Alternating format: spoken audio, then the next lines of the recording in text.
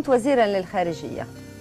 ما الدولة التي تريد أنك تحل مشاكلها السياسية يعني بين مصر وبين هذه الدولة؟ مم. تركيا قطر أم إيران؟